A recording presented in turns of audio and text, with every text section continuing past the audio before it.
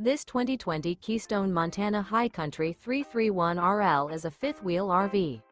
It is located in Greenville, South Carolina 29611 and is offered for sale by Autobank and RV Sales.